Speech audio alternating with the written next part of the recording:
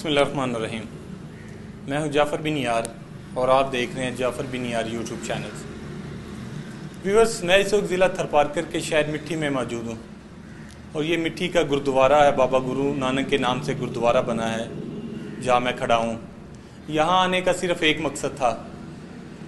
और ऐसी मालूम आप तक पहुँचानी थी, शायद जो आपको भी ना मालूम हो और दुनिया से भी हो, जो लोग कि इस कायनात में अल्लाह ताला ने कैसे कैसे लोगों को पैदा किया है।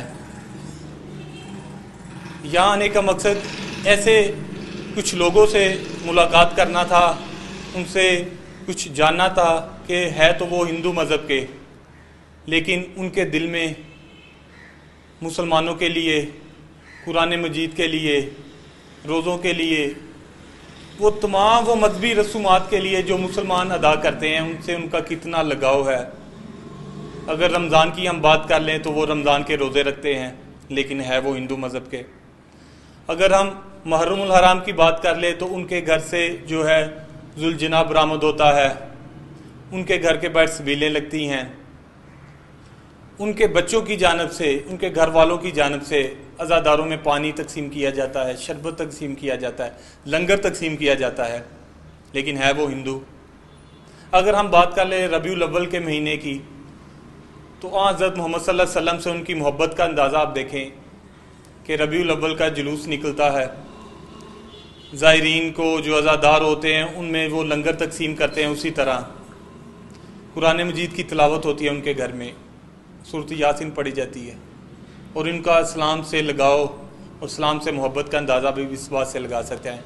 व्यूर्स आज मैं उन लोगों से आपकी मुलाकात करवाऊँगा और वो जो, जहाँ मैं मौजूद हूँ, गुरुद्वारा, यहाँ के वो केट टेकर भी हैं, ये गुरुद्वारा भी उन्होंने बनाया हुआ है। और हम उनसे बात करेंगे और उनसे इस्लाम की मोहब्बत के बारे में और हम उनसे तफसीली पूछेंगे कि वो हिंदू मज़हब होने के बावजूद तमाम जो मुसलमानों का मज़हब है इस्लाम है और तमाम वो जो मजहबी रजूमात मुसलमानों वाले भी अदा करते हैं। आइए चलते हैं और उनसे हम बात करते हैं।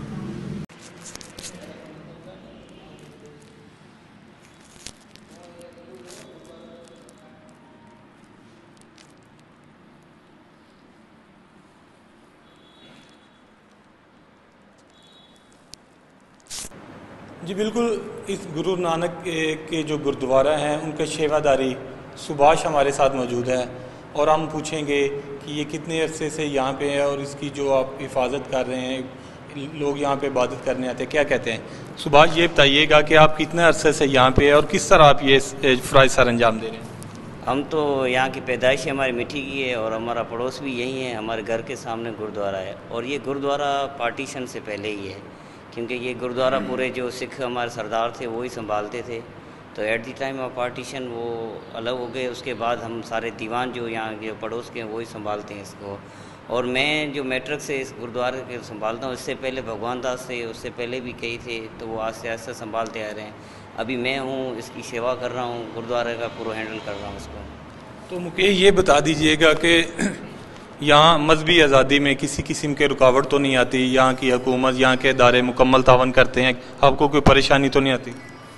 यहाँ पे तो सारा जो माहौल है, हमारा पूरा भावचारी का है। हिंदू हो या मुस्लिम हो, कोई भी कम्युनिटी यहाँ पे कोई भेद नहीं है। क्योंकि हमारा गुरु नानक साहब ने दर्श यही दिया है कि कोई भी हो इतने ज़ात ना पूछो। तो ये हमारा वही कायम करके आ रहे हैं, जो हमारे गुरुओं ने सिखा दी है कि किसी की ज़ात नहीं पूछनी है। जो भी है, वो इंसान है। हमें इंसान का दर्जा दिया है, इंसान ही का ये काफ़ी है।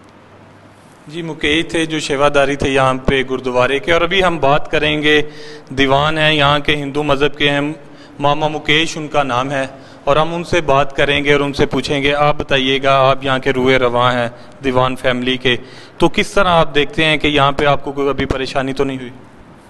हमें तो यहाँ कोई परेशानी नहीं होती है, क्योंकि हमारे पास जो एक माहौल है, एक हिंदू मुसलमान भाईचारे वाला माहौल है और हमें तो हम तो जो ना, मुसलमानों के पास ईदों की मुबारकें देने जाते हैं तो मुसलमान हमारे पास भी हमारे त्यौहार, जो होली, दिवाली होते हैं उस पर भी आते हैं। और गुरुद्वारे में भी हमारे पास कितने मुसलमान आते हैं, और हिंदू भी आते हैं, और न्याज लंगर हम चलाते हैं ना तो भी हम साथ ही जो ना, और किससे पूछते नहीं है, कौन है, बस इंसान है, और इंसानों की हमें खिदमत करनी है। और कोई भी किसी भी फ़िरके का हो, या किसी मज़हब का हो, हमें गुरु नानक साहब ने इंसानियत का दर्श दिया है। जी, बिल्कुल जिस तरह मैंने प्रोग्राम के शुरू पे आपको बताया था कि ये दीवान फैमिली है, हिंदू फैमिली है, लेकिन मुसलमानों से इस्लाम का इनका इतना लगाव है कि ये रोज़े भी रखते हैं, कुरान पाक की तलावत भी करते हैं मुहरम आराम के जुलूस भी निकाले जाते हैं। मेरे साथ इस फैमिली के, हिंदू फैमिली के बच्चे मौजूद हैं, जो रमज़ान मुबारक के रोज़े रखते हैं मुहर्रम हराम में सबीले लगाते हैं रबी अव्वल में जो है वो लंगर तकसीम करते हैं। सारी जो है मजहबी रस्मात जो मुसलमान अदा करते हैं वो भी उसमें बढ़ बढ़ कर होते हैं और बड़े शौक़ से तमाम जो है फ़राइज सर अंजाम देते हैं। मेरे साथ ये उनके बच्चे मौजूद हम उनसे पूछेंगे उनका पहले नाम क्या और फिर आप, आपका बेटा नाम क्या मेरा नाम नीलकंठ है। नीलकंठ है। नीलकंठ ये बताइएगा कि आप रमज़ान मुबारक किस तरह गुजारते हैं मुहर्रम हराम रबी अव्वल के किस तरह महीने गुजारते हैं?